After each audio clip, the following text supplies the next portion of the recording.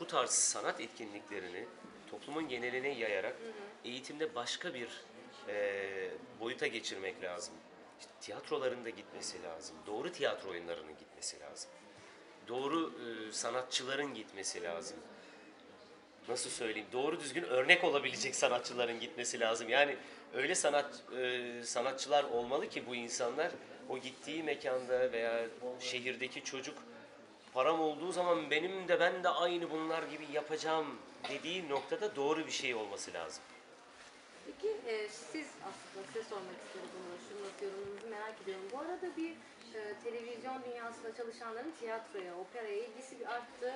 İşte burada kendilerini insanları kanıtlama gibisi başladı. Alaylı olmayanların, eğitimini almayanların ve onların da böyle önünde izliyoruz ve şaşırıyoruz. Aa onu gördük canlıca. Siz şimdi burada emek veriyorsunuz, bu işin eğitimlerini almışsınız. Nasıl hissediyorsunuz? Ya şöyle söyleyeyim, e, dediğim gibi ben hani tiyatro oyuncusuyum ama ikinci üniversite olarak da opera okudum. 20 senedir herkes bana albüm yap, albüm yap deyip durur. Ve ben yapmam. Ya müzikal yapıyorum ya işte ne bileyim kendi ürettiğim bir takım şovlar oluyor vesaire. Onları yapıyorum ediyorum.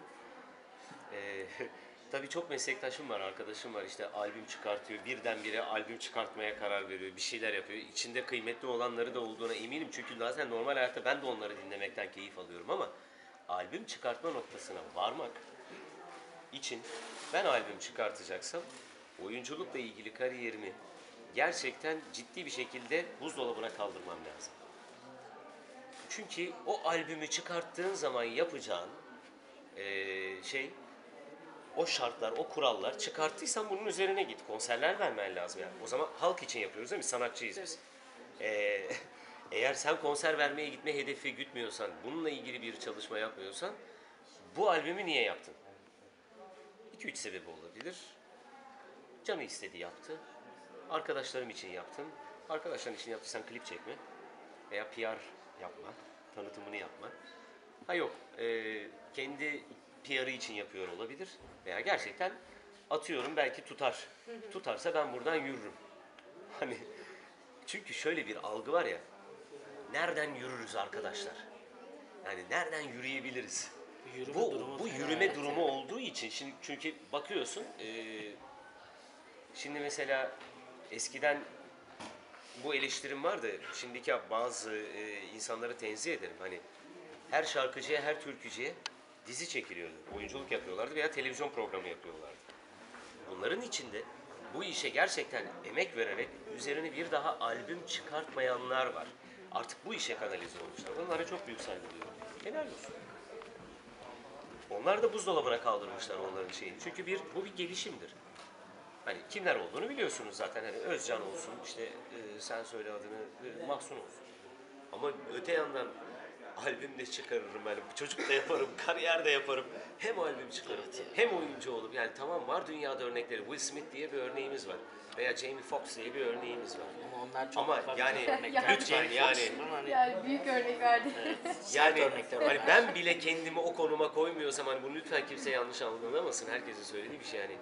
Şarkı söylemekse özür dilerim hani o konuları konuşamazlar, konuşamayız birbirimize ama ben bile yapmıyorum yani. Yapamıyorum çünkü o başka bir şey. Çünkü oyunculuğu da çok seviyorum. Albüm çıkartmayacağımız anlamına gelmiyor. Doğru bir şey yapa, yaptığın zaman onun da üzerine gitmek lazım. Bu arada bu işte zaten hani yaptığımız şeyler aslında hepsini bir arada yapıyoruz. Dans, oyunculuk. Yani sonuçta e, müzik, müzik zaten hani yani şarkı söylemek zaten hani bizim için bir iş olmadığı için ama hepsi bir arada yani enteresan bir şekilde organik bir şekilde ortaya çıktı yani böyle de bir şey var. Röportajdan çok konferansa dönüyor. Biz bir sussak mı diye böyle Ama evet, soru sorsana ya. Evet. Ben ama dinliyordum çok iyiydi. o zaman Cenk Pili Bey, bitecek pili. yazık.